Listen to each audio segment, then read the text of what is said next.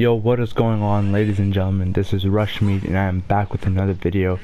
I this video is gonna be different from my other videos because this is gonna be a Dragon Ball Super episode 129 review. I won't do reviews in the future.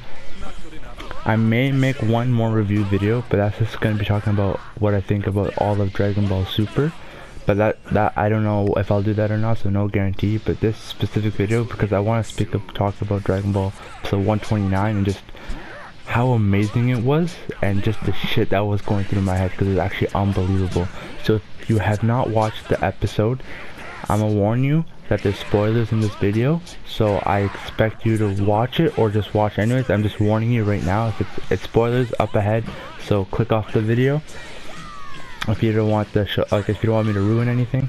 But I'm gonna get into it. Before that, actually, I want to give a shout out to my friend Jared Larson. He's been the guy that's been hooking me up with all the sick beats in all my videos that you see from my Call of Duty and such. If you guys do actually like them, his links are always in the description in my videos when I use the songs. I do recommend you guys go listen to him. He's really, really good. He's really talented. So I recommend you guys go listen to his shit. It's actually dope. He really comes through. He works really hard and whatnot. Anyways, now let's let's actually get into this review. Okay, episode 129. Oh my god. Jeez, almighty, oh man. So this episode overall, it was a great episode, okay? so much was going on that was insane. The back, the the the like attacks between Jiren and Goku was unbelievable. You know, you had Belmod, you know, he was underestimating Goku still after what Goku has shown throughout the entire tournament, always surpassing his limits. Belmod still the audacity to kind of underestimate him, but you know, that kind of changed later on. But like, everyone was just watching Goku in awe, you know, just using his ultra in instinct ability, the gods of destruction are just shocked too, and it's just unbelievable. You know, the Xenos doing their thing, they're just acting, you know, childish and funny. It was just dope. The action between Jiren and Goku was just awesome. It was worth the wait, the like wait the extra week to watch this episode because the animation was spot on. You know, the graphics was insane.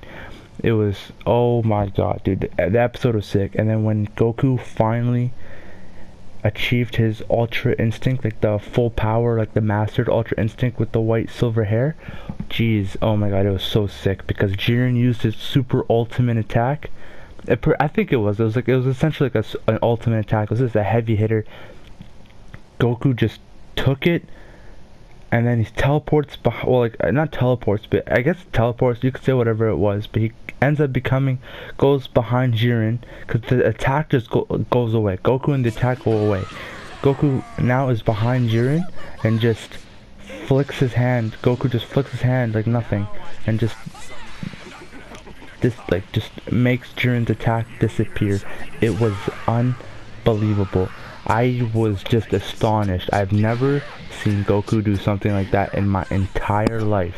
That was just holy crap. And then seeing Goku reach this new limit, man, you just never expect it. For okay, ever since Dragon Ball Z ended and like with the whole Dragon Ball GT and stuff and the movie stopping, like just that whole time period where there was no Dragon Ball content besides the games alone I was still like I was still on the wave, man. I was still on the Dragon Ball wave. Like I've always been about it. Like I've always been watching the the shows, rewatching episodes consistently, rewatching the movies consistently, always getting the new game consistently. You know, I'm always like I stayed connected no matter what. Even though some people fell off and then people came back, or some people rode the wave again. Like that's not a big problem to me. I don't care.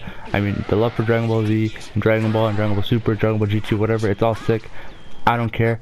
So, but like for me, for someone who's been on that wave for so long and like since the moment I was a little kid, it's just crazy to see Goku's transformation from what he was like as a kid, just his personality, his strength level, and just everything from when he was a 12 year old kid training under Master Roshi and what he is now in episode Dragon Ball Super 129. Seeing just the new Ultra Instinct, the, the mastered level, it was just like a a huge like just shock. It just like hit me. It's like holy shit. Like Goku is really in this god tier bitch right now. Like he's really in here. Like he is top tier. Like I think honestly, just based off that episode, I think if Goku's able to consistently tap into that power, he he um has surpassed the gods of destruction themselves because I'm not gonna say the angels because I'm not 100% sure. I doubt he surpassed some of the angels like Whis. I doubt he surpassed. However, with the gods of destruction, destruction, I know that he surpassed a lot of them. I don't know about Beerus, but I think he even surpassed Beerus at this point because even because Beerus was talking to Whis and that conversation was awesome. It just it led up to that transformation. It was just awesome because it confirmed that Goku has achieved that mastered Ultra Instinct form, and hearing Beerus say that the way like he said it, and then just how like energized he got when he heard it and like just seeing his face and stuff it was awesome. That's why I recommend everyone go watch the episode.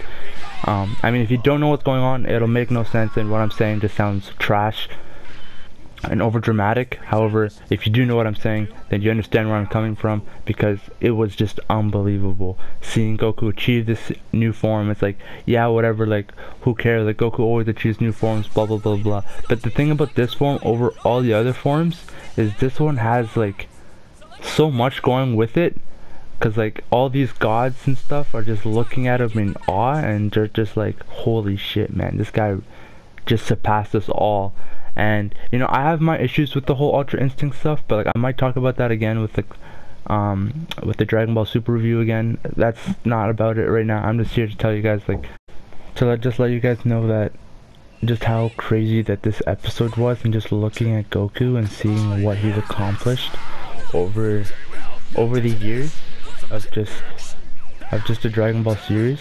I mean if you just want to cut off GT whatever um, just what he's accomplished since he was 12 up to this point, you know, training for Master Roshi to training with gods like Whis at this point and reaching a level that no god of destruction has mastered. You know, Beerus only being able to use it a little bit. You know, it's just, it just blows my mind. But like, I mean, the, back to the episode, it was just, again, it was like, it was very action packed and it was really cool. What Vegeta was saying to stand up to uh, to stand up for Goku was awesome because he was like when he, Vegeta was bringing up how the Saiyans how like just the Saiyans in within the arc throughout the arc was just talking about he was saying that like how they all managed to surpass their limits. Like he was able to hit his royal blue form Goku able to hit um, uh, Ultra Instinct um, Cabba being able to hit Super Saiyan 2 with the Kefla transformation. Um, Kale learning how to do, oh no, Caulifla learning how to do the Super Saiyan 2 properly because of Goku, and Kale learning to control her angered Super Saiyan mode, or you could say her legendary Super Saiyan power, like Broly, same thing essentially. as the Saiyans consistently were able to surpass themselves and break their barrier every single time and each Saiyan has been able to do so. And Vegeta was standing up for Goku in that sense because one of the gods and I think it was Belmod who was saying that Goku has reached his limit and that there's no chance essentially and that Jiren's gonna win at this point. However you know Vegeta was saying like how do you know that how could you say that all the Saiyans have surpassed themselves so why can't Kakarot do the same thing? Essentially, and you know what? Goku ends up doing the same thing. He's mastered. He ended up mastering the Ultra Instinct. At the end, he literally beats Jiren like like minced meat. Like he just oh oh my god, it was. Jeez, I like I said, I recommend everyone watch it. Um, it it was actually a really good episode. That's like it was so good that I have to make it a review about it because it's just insane. Obviously, I'm not the best person to make a review about it. This is my first review, so I, I can't really, I don't know how this review stuff works. I know other YouTubers do it like Ron Style and like for Neverworld. Um, if you if you want to watch them, because they probably give a way better explanation of the episode.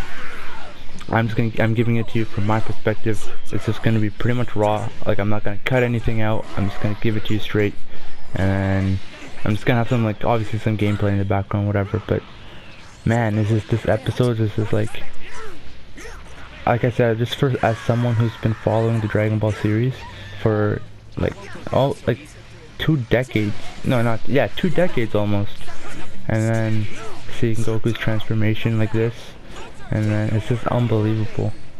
It's just it's actually crazy because like you wouldn't you that was the biggest thing. It's like the way you looked at Goku as a kid and the way you look at him now, you would never expect him to achieve such a a level of power or transformation such as Ultra Instinct. Maybe he would have had something like Ultra Instinct, but the tier of its power is unbelievable. Like it's god tier, like some of the gods are looking at it and like holy crap, like he's a he surpassed us type of thing, you know what I mean? They're, it's fearful. You just never would have expected it to come from Goku. Even when Goku killed Kid Buu with the spirit bomb, when he said like essentially when he said like bye and like hope you come back as a good guy I just even at that point it's like wow like Goku you really made it like you're OP and I just never would have thought you would have amounted to this like craziness you know like how strong he is you know of course that all changed because when Dragon Ball Z came in with the whole Saiyan stuff, of course it was expected of how much stronger he'll get.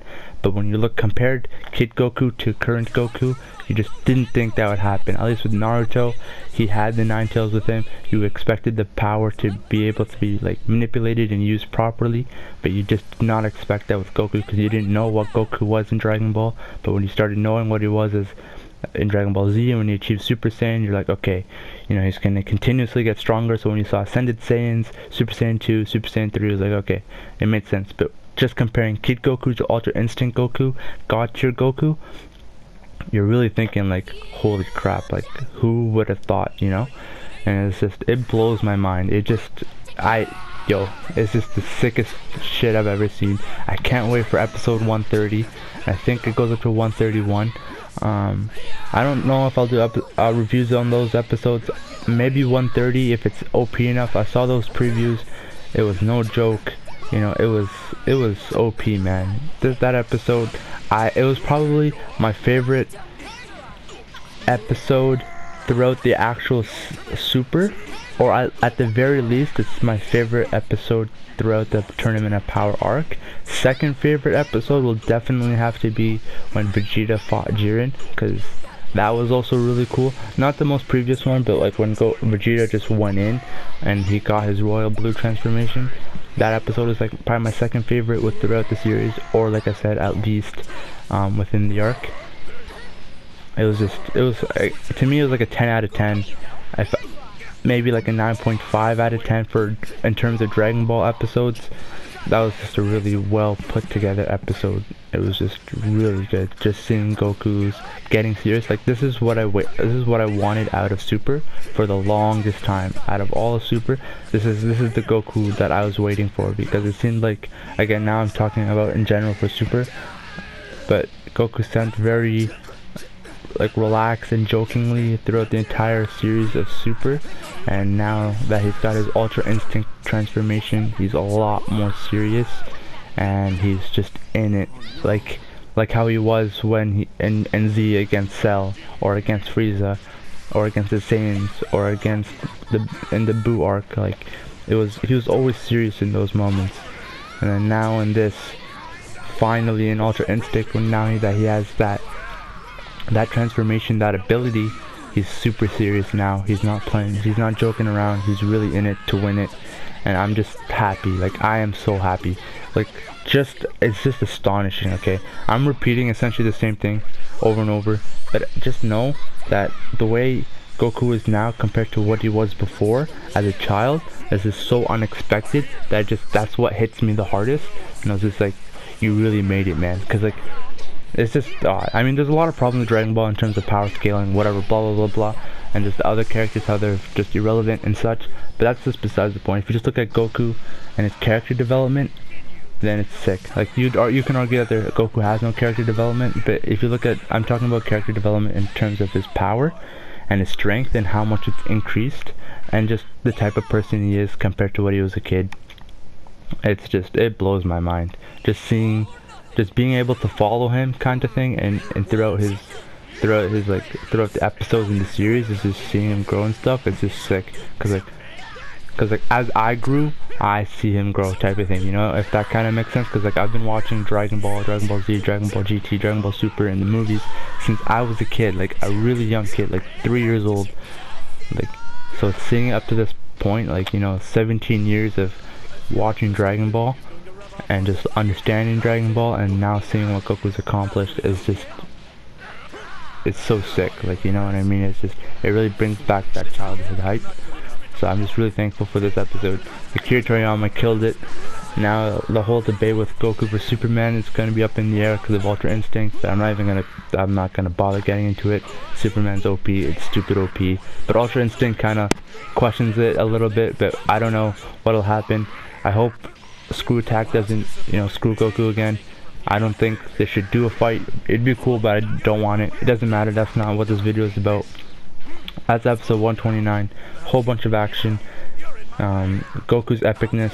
People recognize, like the gods finally recognizing Goku. I mean, they kind of recognized him before with when he like unlocked unlocked all Ultra Instinct, but now that he's fully acquired it, you know, Beerus getting amped up, that's what got me amped up, hella, hella amped up. So when the dub comes out, because I prefer the dub when it comes to Dragon Ball, so the dub's going to be way, way cooler for all that, that episode. I can't wait. And then, so like the action, the conversations, the, the animation, all of it was fantastic. That's why I'm giving this like a 10 out of 10, 9.5 at the lowest. It was well made, you know. I just got I just gotta give it to Funimation and just all those people that put their work into Dragon Ball Super. It's it's dope. I gotta respect them. You know, I mean Toriyama hasn't written out the the script and stuff for uh, because like the manga is kind of behind the series, so I wonder what's gonna happen in the manga because usually it changes. So we'll see what happens, how Goku's like in the manga, because the way Super runs in the manga is how it's always ran, like it, its style since Dragon Ball, Dragon Ball Z, and and whatnot. It stayed consistent, unlike the anime compared to Z and Super. It's kind of like it's got a different feel to it. That's how I felt, anyways. But in terms of the manga, it's pretty consistent. So I can't wait to see what Akira Toriyama and his and his the person he's working with, who's pretty much doing it for Akira Toriyama. I might be mistaken, but I know there's another person working with Akira Toriyama. I don't know his name, but he's doing a really good job too. So I'm thankful for that. Can't wait to see what they'll do.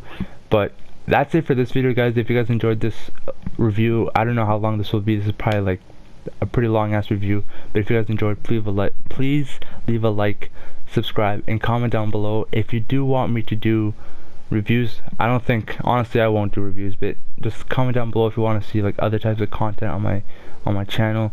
Please go check out my friend Jared Larson. He's, his music is dope as shit.